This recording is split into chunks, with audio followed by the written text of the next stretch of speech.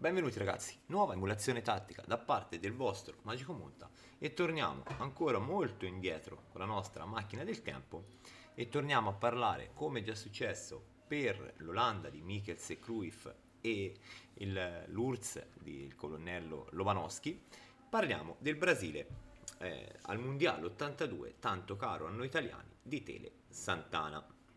Andiamo a scoprire quel Brasile e de un po' di quel mondiale 82 tramite la mia analisi tattica nel sito maciomonta.manager.it e andiamo anche a ricreare passo passo l'emulazione tattica in Football Manager 24 partiamo una breve introduzione.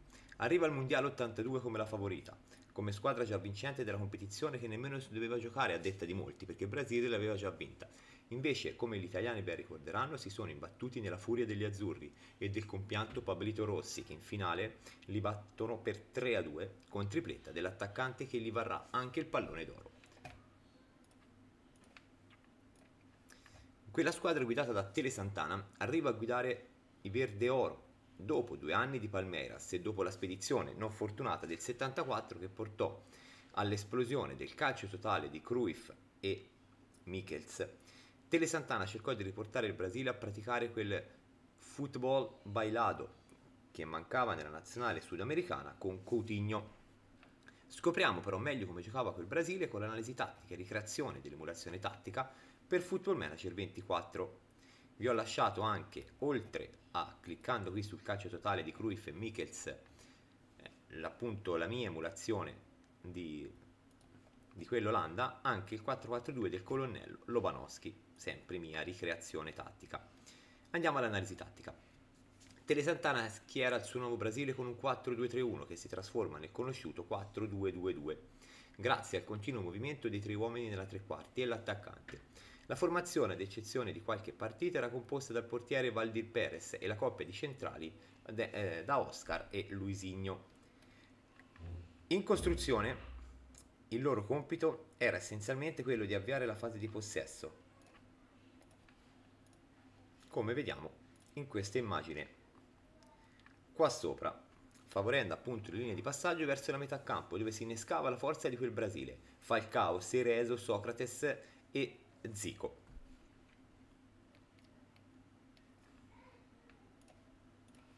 Qui invece vediamo il 2-2-2 formato dai nostri uomini nell'emulazione tattica Quest'ultimo, che poi passerà all'Udinese, cioè Zico, giocava dietro la punta Serginio, che in quel mondiale sbagliò molte reti non da lui e in patria è stato imputato come colpevole di quella vittoria finale mancata. Socrates invece partiva prevalentemente sulla destra per andare poi ad occupare posizioni più centrali. A sinistra giocava Eder con gli stessi movimenti. Qui vediamo un esempio appunto di Socrates e l'esterno sinistro stretti e qui vediamo Zico in versione rifinitore per l'attacco, la profondità dell'attaccante. L'ampiezza era garantita dai due esterni bassi, Leandro e Junior, dotati di tecnica da centrocampisti e contemporaneamente proiettati in avanti. Entrambi i terzini si potevano scambiare di posizione con gli esterni, andando in sovrapposizioni interne, come vediamo in questa immagine sotto, col terzino Carlos Alberto in questo caso, che va a tagliare dietro al campo gli offensivi del Brasile erano tutti pronti ad occupare i corridoi centrali nelle zone di rifinitura e finalizzazione. Ciò permetteva ai Verde Oro di essere imprevedibili in fase offensiva. L'intera fase di possesso verteva sull'idea di garantire appoggio al portatore di palla e di favorire le giocate a 3 e a 2. Come vediamo in questo esempio, molta densità centrale con ben 6 uomini, i famosi 2-2-2.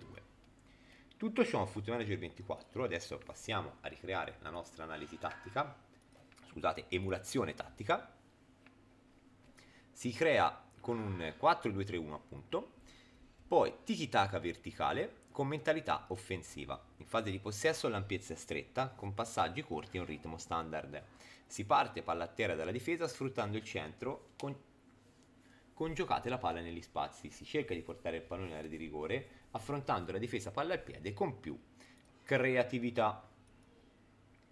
I ruoli per arrivare a tutto ciò e anche un, al famoso 4-2-2-2 sono un portiere classico e due difensori classici. Sugli esterni abbiamo detto due terzini che danno ampiezza e poi tagliano dentro al campo anche. Eh, in, sempre in proiezione offensiva sono due esterni completi, a sinistra supporto e a destra attacco. Entrambi hanno le, l'impostazione personale taglia dentro col pallone. A centrocampo abbiamo un incontrista, difesa, Sereso e poi un regista arretrato, Falcao. Davanti è qui che avviene la, tra virgolette, magia, cioè che ci va a portare al 4-2-2-2, cioè impostiamo il trequartista, attacco centralmente, sugli esterni due registi avanzati, uno su attacco, l'altro su supporto. A entrambi diamo il giocare stretto e l'andare avanti appena possibile con libertà di movimento, così come l'attaccante che è un centravanti, ma gli diamo la libertà di movimento. Questi continui movimenti di questi quattro uomini ci porta con Zico che a volte potrebbe andare accanto al, alla punta e dietro vanno a stringersi i due esterni, oppure uno dei due esterni si avvicina alla punta e resta eh, il Zico, il trequartista e il regista centrale. Quindi con queste rotazioni possiamo, eh, andrà, andremo a vedere in game il 4-2-2-2.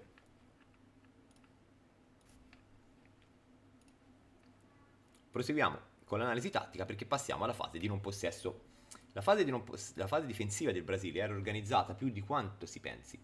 Infatti, tutti i giocatori cercano di rientrare dietro la linea della palla, dando vita a una sorta di 4-4-2 o 4-5-1 che dipendeva dal posizionamento difensivamente più o meno avanzato di uno dei tre dietro la punta. Vediamo in questo caso il 4-5-1 con tutti che arretrano nel centrocampo e il 4-4-2 con uno dei tre uomini dietro la punta che resta avanzato.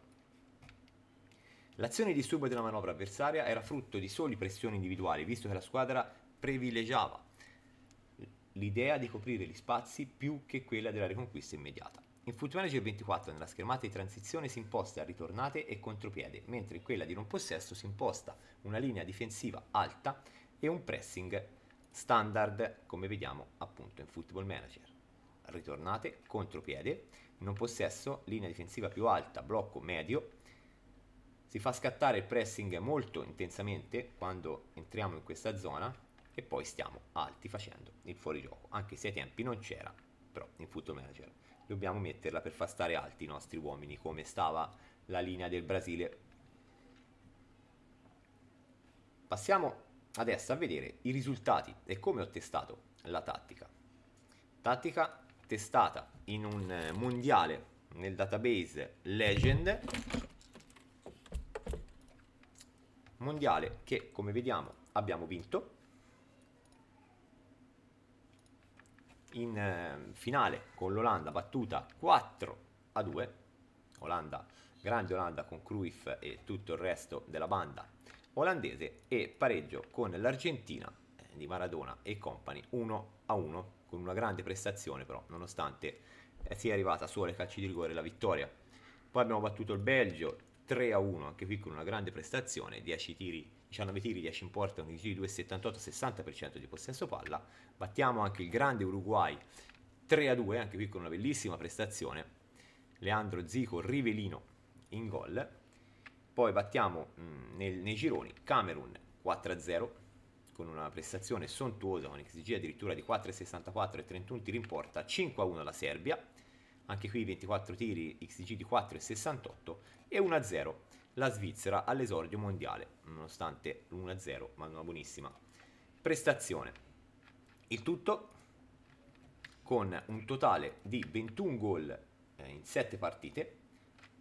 Il possesso palla è al 57%, siamo al quinto posto, però possiamo metterci a pari, tra virgolette, solo con l'Argentina perché è l'unica che ha fatto 7 partite come noi, il resto sono, sono ferme a 3 la squadra che ha debrato di più, classica del Brasile, squadra che ha fatto anche più tiri di tutti, 149 in 7 partite, mentre per i gol subiti siamo a 7 gol in 7 partite, con 2 clean sheet. Per quanto riguarda i giocatori, Rivelino, il nostro regista avanzato a sinistra perché non era presente purtroppo nella database ed chiude con 8 gol fatti. Eh, al secondo posto troviamo insieme a Cruyff e Spencer dell'Uruguay Pelé con 5 perché Serginio, l'attaccante, non era eh, disponibile. Per gli assist abbiamo Zico con 3 al secondo posto, insieme a Gullit, Futre, Kubala, eh, Bruno Fernandes del Portogallo, eccetera, eccetera. Detto questo ragazzi siamo arrivati alla fine anche di questo, di questo video, di questa emulazione tattica nella versione italiana, nel lasciarvi alla versione inglese io vi ringrazio di nuovo per il sostegno, spero che continuate a sostenermi, guardare i miei video che vi piacciono sempre di più, accetto come sempre consigli per migliorarli, eh, cosa preferite o cosa non preferite eh, e, e spero sempre anche nelle vostre iscrizioni ai miei vari social, compreso questo eh, canale. Quindi siamo alla fine, mm, vi ringrazio, come sempre, mm, tornando ai discorsi di allenamenti che trovate il link in descrizione, anche qui vi consiglio un, uh, allenamenti per Tiki Taka, appunto. Detto questo, vi mando un abbraccio. FM24 Santana's Brazil, 82. Introduction. They arrived at the 82 Mundial as the favorite, as a team that had already won the competition which, according to many, should not even have been played because Brazil had already won it. Instead, as the Italians will well remember, they ran into the fury of the Azzurri and the late Pablito Rossi who beat them 3-2 in the final with a hat-trick from the attacker which will also earn him the Ballon d'Or. That team led by Telly Santana came to lead the green and gold after two years of Palmeiras and after the unsuccessful expedition of 74 which led to the explosion of the total football of Cruyff and Mikkels. Telly Santana tried to bring Brazil back to practicing that football balado that was missing in the South American national team with Coutinho. Let's find out better how that Brazil played with the tactical analysis and recreation of the tactical emulation for Football Manager 24. Tactical analysis. Telly Santana lines up his new Brazil with a 4-2-3-1 which transforms into the well-known 4-2-2 2 thanks to the continuous movement of the three men in the attacking midfield and the attacker. The lineup, with the exception of a few matches, was made up of goalkeeper Valgir Perez and the central pair of Oscar and Luizinho. During the construction phase their task was essentially to start the possession phase, immediately favoring passing lines towards the midfield where the strength of that Brazil team was triggered. Falcao, Cerezo, Socrates and Zico. The latter, who would later move to Udinese, played behind striker Serginho, who missed many goals in that World Cup and was blamed in his home country for that failed final victory. Socrates, on the other hand, started mainly on the right, and then moved on to occupy more central positions. On the left Eder played with the same movements. Width was guaranteed by the two short wingers Leandro and Junior, equipped with midfielder technique and constantly projected forward. Both fullbacks could exchange positions with the wingers, overlapping inside. Brazil's offensive players were all ready to occupy the central corridors in the finishing and finishing areas. This allowed the green and gold to be unpredictable in the offensive phase. The entire possession phase focused on the idea of guaranteeing support for the ball carrier and encouraging three-man and two-man plays. All this in Football Manager 24 is set with a vertical tiki-taka style with an offensive mentality. The width is narrow with short passes and slightly higher pace. You start the ball on the ground from the defense and exploit the center, leaving creativity and bringing the ball into the penalty area. The non-possession phase. Brazil's defensive phase was more organized than you think. In fact, all the players tried to get back behind the line of the ball, giving life to a sort of 4-4-2 or 4-5-1 which depended on the more or less defensive positioning less advanced than one of the three men behind the strikers. The disturbing action of the opponent's maneuver was the result of individual pressure alone, given that the team favored the idea of covering spaces rather than that of immediate reconquest. In FM24 in the transition screen you set up returns and counterattacks while in the non-possession screen you set up a high defensive line and a standard pressing line. The intense pressing. The tactical roles are a classic goalkeeper and two classic central defenders. The fullbacks are complete wingers on the left as support and on the right as attack with a cut and setup. The two midfielders are a support playmaker and a defense tackle. The three behind the attacker who is a center forward with freedom of movement are a central attacking midfielder and two advanced external playmakers. One attack and one support with a stay tight approach. Freedom of movement and forward as soon as possible. Results of tactical emulation in Football Manager 24. I tested the tactic in Football Manager 24 by playing a World Cup in the Legends database, so all the football legends in one database. In Brazil, I used the players from the 1982 expedition whenever possible. Brazil wins the World Cup by eliminating Argentina on penalties and the Great Netherlands in the final. In the previous rounds, they beat Uruguay, Belgium, Serbia, Switzerland, and Cameroon. We score 21 goals in 7 games and concede 7. 3 average goals per game and 3 average XG, 24.98 total. Average ball possession of 57%. Rivellino, the left wing playmaker, finished with 8 goals and the World Cup scorer. The striker Pele 5. For assists, Zico finished with 3.